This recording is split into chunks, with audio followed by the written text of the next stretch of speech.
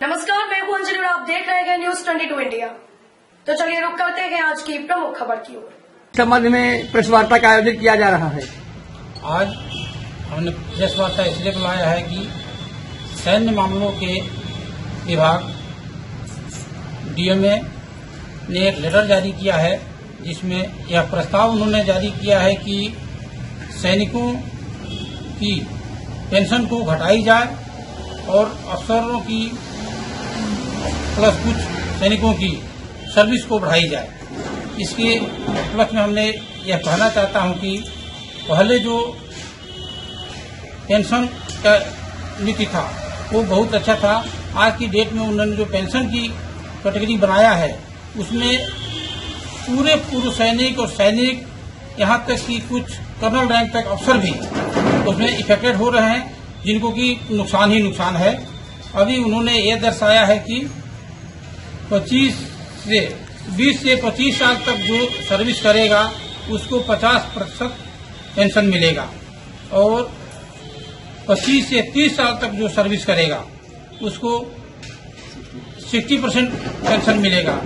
और 30 से 35 साल तक जो सर्विस करेगा उसको 75 परसेंट पेंशन मिलेगा। और 35 साल से ज़्यादा जो सर्विस करेगा उसको ही सिर्फ़ 100 परसेंट पेंशन मिलेगा। जबकि पहले ऐसा नहीं था। सिपाही अगर जो 17 साल में भी जा रहा है तो उसको फुल पेंशन मिलता था। और रैंक वाइज जो है 22 साल 24 साल 28 साल ऐसे करके जो भी था, उनको फुल पेंशन मिल रहा था। अभी ये जो नया नियम के अनुसार, जो नया प्रस्ताव उन्होंने जारी किया है, जो सीडीएस बिपिन रावत ने पास भी कर दिया है। भारत सरकार द्वारा पास करने के लिए बाकी रह गया है और इस लागू हो जाने के बाद पूरे जवानों की जेसीओ की पेंशन आधा हो जाएगी, जो कि घोर अन्याय है और अफसरों की भी कुछ कम हो जाएगी।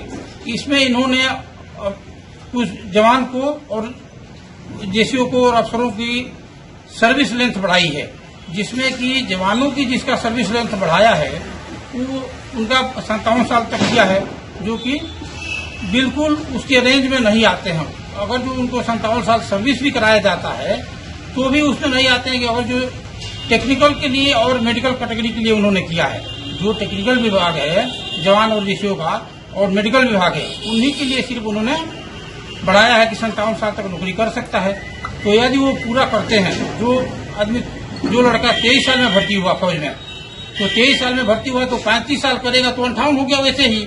वो भी दायरे से निकल गया। पैंतीस साल तक कभी भी किसी भी सूरत में कर नहीं पाएगा, जिसकी वजह से उसको फुल पेंशन नहीं मिलेगा।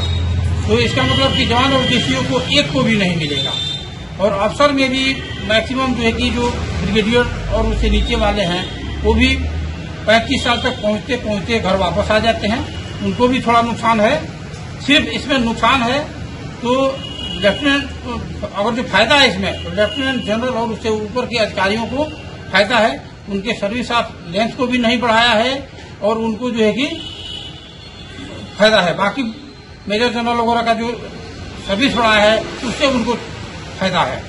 बाकी हमारे वाले जितने भी विभाग हैं, चाहे इन्फेंट्री के हो या कोरों के हो, सारे को नुकसान है।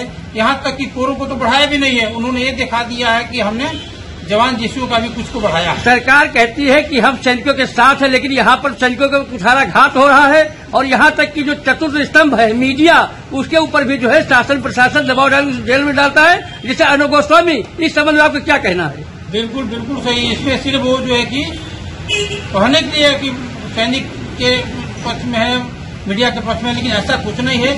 सैनिकों के साथ घोर अन्याय हो रहा है। यहाँ पर ये और मैं बोल रहा हूँ कि अगर जो इस तरह से सैनिक के साथ करेंगे तो न सिर्फ़ बाराबंकी और उत्तर प्रदेश पूरे देश में सैनिक पूर्व सैनिक और उनके परिवार रोड पर आ जाएँगे और इसके विरोध में लड़ेंगे।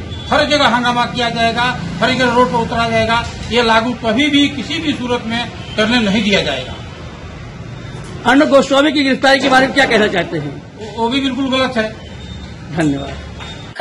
के लिए बस इतना ही। मिलते हैं फिर किसी खास खबर के साथ। देश दुनिया की तमाम छोटी बड़ी खबरों को देखने के लिए देखते रहिए न्यूज़ ट्वेंटी इंडिया खबर भी, असर भी। और हमारे चैनल को लाइक व सब्सक्राइब करना न भूलें